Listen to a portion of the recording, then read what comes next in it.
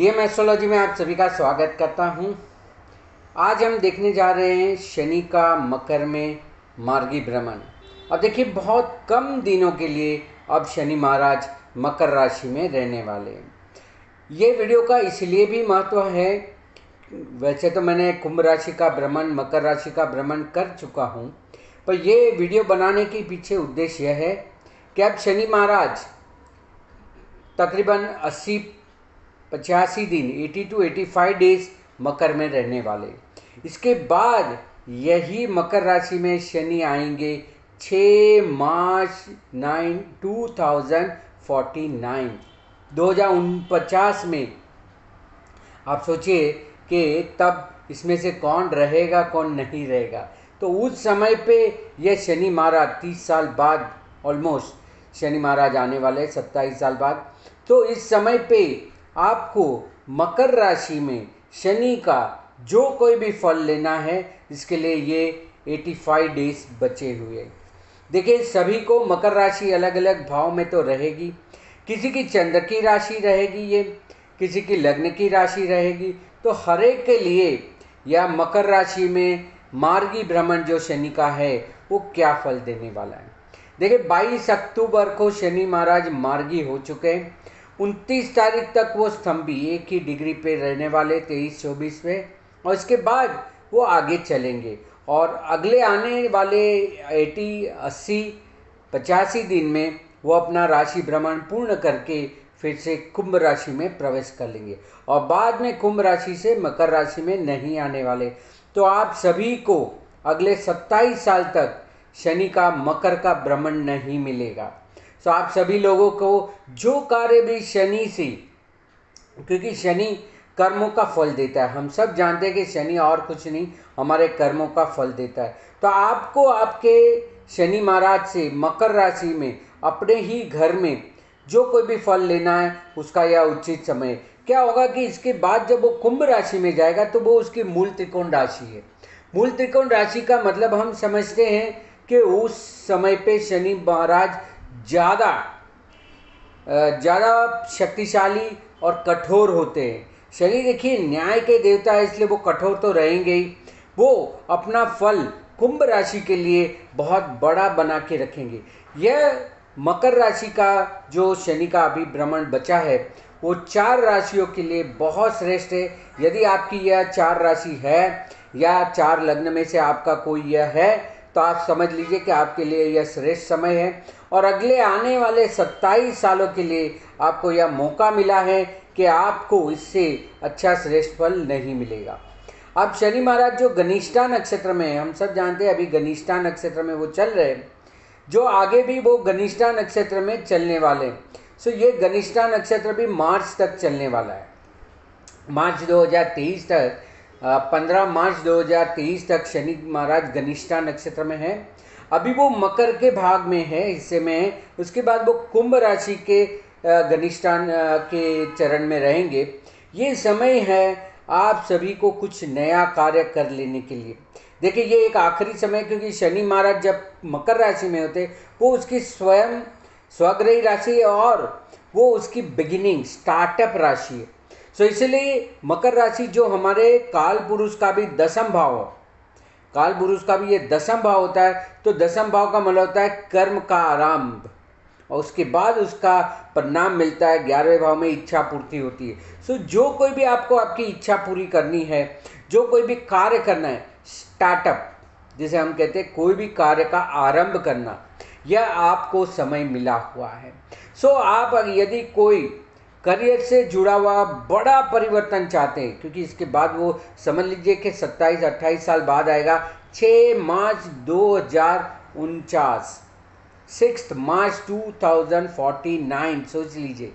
सो so, उस समय पे करियर अभी जो आपको समय मिला इसमें आपको करियर व्यापार व्यवसाय कर्म यदि आप पॉलिटिक्स में भी आना चाहते हैं तो ये बहुत ही उचित समय है। जिन जिन लोगों ने इसके तीस साल पहले जब मकर राशि में शनि था, वो आज जिन्होंने अपना करियर चालू किया था, वो आज सभी अपने टॉप पोजीशन पे है।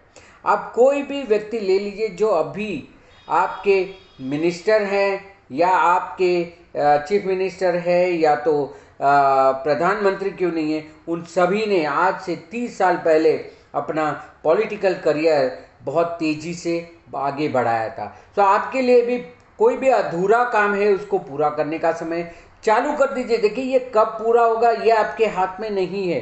तो आपको कार्य आरंभ करने के लिए यह एक आखिरी मौका मिला है। यदि आप चाहते कि आपका पद, आपका पोजीशन है, वो ऊपर बढ़े तो उसके लिए भी प्रयत्न करने का ये उचित समय है। तो अपना पोजीशन पद बढ़ाने के लिए अपना कोई भी छोटा मोटा काम चालू करने के लिए। आप चाहते हैं कि मेरा खुद का व्यवसाय हो। इन्वेस्टमेंट करना चाहते तो इन्वेस्टमेंट के लिए भी ये बहुत उचित समय है। 22 अक्टूबर से लेके 17 जनवरी। 17 जनवरी के बाद मकर के शनि का फल आपको नहीं मिलेगा। ये मैं बार बार इसलिए कह रहा हूँ क्योंकि मकर का शनि बहुत ही कर्म के लिए बहुत बड़ा होता है। तो स्मॉल स्केल इंडस्ट्री वाले छोटे मोटे काम करने वाले स्मॉल स्केल कोई काम में मूवमेंट लाने के लिए आपके लिए बहुत अच्छा समय है। इस समय का जितना ज़्यादा उपयोग कर लेंगे। देखिए ये आए थे 20 जन, जनवरी 20 जनवरी 2020 को। उसके बाद बहुतों का कार्य ऑनलाइन चालू हुआ है। मैं नहीं कहता हूँ कि पैंडेमिक में सभी को असर हुई पर सभी को मौका मिला था। सभी को मौका मिला कि कुछ नया करने का। और बहुतों ने अपना स्टार्टअप शुरू किया है और ये स्टार्टअप उन सभी के लिए बहुत लाभदायक होगा। सो यदि कोई चूक गया है, रह गया है, उनको भी अगर कोई स्टार्टअप करना है तो यह बहुत उचित समय है। अब हम देखते हैं कि किन चार राशियों के लिए ये श्रेष्ठ समय है। पहला सबसे पहले आती है मकर राशि। मकर राशि वालों के लिए तो ये दसम भाव से ही मार्गी बना हुआ शनि है। कोई भी आपके पुराने कार्य क्यों ना हो। कितने भी कठिन कार्य क्यों ना हो, उसके लिए आपको आगे बढ़ना है। ये अगर आपकी चंद्र की राशि है तो भी समझना है, और यदि ये आपकी लग्न की राशि है तो भी आपको इसमें कार्य आरंभ कर देना है, अपने करियर से रिलेटेड यदि आप अभी अभ्यास कर रहे हैं तो भी आप कुछ ना कुछ अपने तौर पे कार्य आरंभ करना चालू कर दीजिए। मेष वालों के लिए ये श्रेष्ठ समय है। दूसरा श्रेष्ठ समय है वृषभ राशि या वृषभ लग्नों के लिए। उनके लिए भी, यदि उनको भी कोई नया करियर, कर, कार्य, पॉलिटिक्स में कोई पुराना कार्य अपने पोजीशन को छोटे मोटे कार्य को, अपने स्किल को डेवलप करना है तो ये बहुत अच्छा समय है। और यदि आपको धर्म में अध्यात्म में रुचि है और उस तरफ़ अगर आपको जाना है तो भी यह बहुत अच्छा समय है। यदि आप योग, ध्यान मेडिटेशन करते क्योंकि धर्म से अनुसार, क्योंकि आपके नवम भाव से ये पास हो रहे तो धर्म के अनुसार यदि आप कोई कुछ परिवर्तन करना चाहते हैं तो भी अच्छा समय।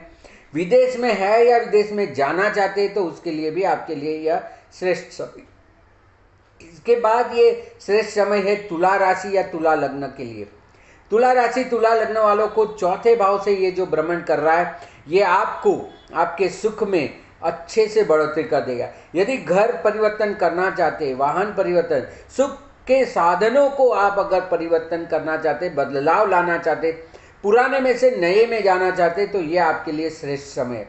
आपके लिए योग कारक भी है, जैसे वृषभ वालों के लिए ये योग कारक है, आपके लिए भी ये योग कारक है, और आपके लिए ये श्रेष्ठ समय है। यदि सुख के साधनों में कुछ बदलाव लाना चाहते तो यह आपके लिए समय है। यदि आपने इसके लिए कोई कर्म किया तो आपको भी श्रेष्ठ फल मिलेगा। इसके बाद चौथी जो व्यक्ति है, वो स्वयं मकर राशि वाले। जिनका मकर राशि या मकर लग्न है, उनके लिए भी ये एक आखिरी समय है। अपने बारे में, खुद के लिए जो कोई भी परिवर्तन करना चाहते, वो कर लीजिए। अपने में बदलाव लाना है। आपके शरीर के बारे में आपको कोई बदलाव लाना है तो यह एक उचित समय है। तो इसका ज़्यादा से ज़्यादा उपयोग करें और अपने आप को इस समय पे बाहर ले आइए। अपने आप की अपनी स्किल को अपनी ऊर्जाओं को अपनी शक्तियों को पहचाने और बाहर आइए और कर्म करिए। सो so, यह मेष वृषभ तुला और मकर राशि या लग्नों के लिए ये एक अंतिम अच्छा अपॉर्चुनिटी है। ऐसा मौका वापस नहीं मिलेगा। अब बात करते हैं मिथुन वालों के लिए। ये आपके जीवन में आखिरी भय का परिणाम है। अष्टम भाव से शनि जो जा रहे इसके बाद आप भय से मुक्त हो जाएँगे। सो कोई चीज़ों में रह, रहस्य में जाना है रिसर्च करना है आपके कोर्ट कचहरी या तो विल वारसे के मुद्दे उसको सुलझा दीजिए। ये जो अस्सी दिन मिले इसके लिए अच्छा है। कर्क वालों के लिए ये आखिरी चुनौती वाले लोगों को मिलने का समय है। कर्क वालों के लिए सप्तम भाव से जा रहा है। यदि शादी में भी परेशानी चल रही तो थोड़ा वक्त निकाल दीजिए और इससे आप शांति पाइए। अपने लोगों से मिलिए और जो कोई भी तकलीफ़ है, उसका इलाज कराइए, उसमें समझौता करिए। सिंह लग्न वालों के लिए छठे भाव से जा रहा है। सिंह राशि या सिंह लग्नों के लिए छठे से भ्रमण कर रहा हुआ शनि आपका कर्ज मुक्त कर सकता है। आप कर्ज को, कर्ज से छूटना चाहते ये बहुत अच्छा समय है। सो आप उससे मुक्त हो जाएँगे। सो कर्ज मुक्ति, पुरानी बीमारी से मुक्ति पानी है तो बहुत अच्छा समय है। पर उतना आपके लिए लाभदायक नहीं है, कष्ट करना पड़ेगा। कन्या वालों के लिए पंचम भाव से जा रहा है, ये भी आपको आपके उच्च अभ्यास में बहुत कठिनाई देगा। मुश्किल देंगे। तो आपको उस चैलेंज से बाहर निकलना पड़ेगा।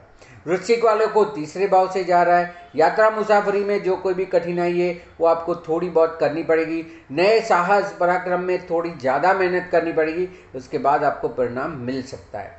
धनु वालों के लिए, धनु राशि, धनु लग्न वालों के लिए ये दूसरे भाव से जा रहा है। पैसे से जुड़ी हुई जो भी आर्थिक आयोजन करना है, इसके लिए श्रेष्ठ समय है। वो कर लीजिए। और साथ साथ में यदि आप चाहते कि आपके संबंध भी अच्छे बने रहे, लंबे अरसे तक बने रहे, अगले सत्ताईस अट्ठाईस साल के लिए अगर आप कोई नया संबंध बनाना चाहते हैं, बहुत अच्छा समय है।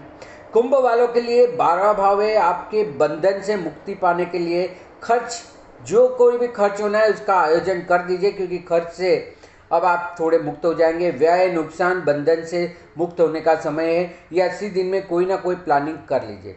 और मीन राशि वालों के लिए ग्यारहवें भाव से जा रहा है। यदि आपको लगता है कि आपने किए हुए कर्मों का उचित फल नहीं मिल रहा है, आपको लाभ नहीं मिल रहा है, इच्छा पूर्ति नहीं हो रही है तो उसके बारे में प्रयास कीजिए। ये आखिरी समय है, जिसके बाद आपको कोई तकलीफ़ नहीं होगी।